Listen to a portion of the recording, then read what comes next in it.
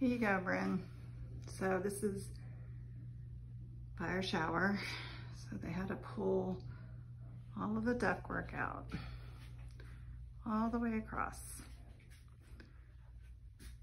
because the ductwork was not insulated when they built our house, which caused the water to come through our ceiling.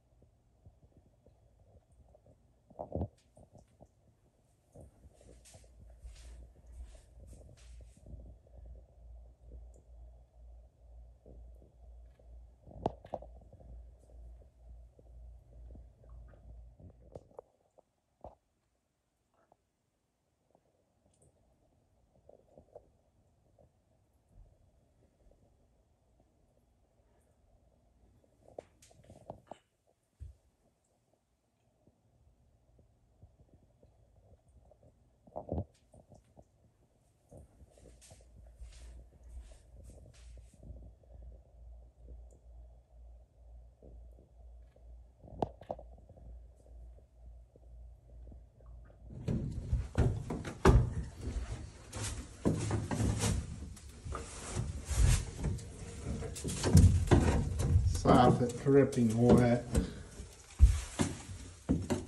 No insulation on the duct.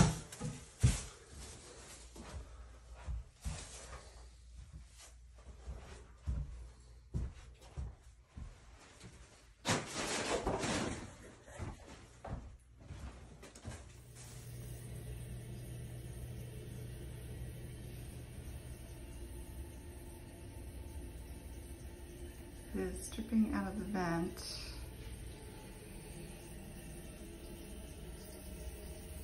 onto the floor, which is hard to see right now because you can't really tell.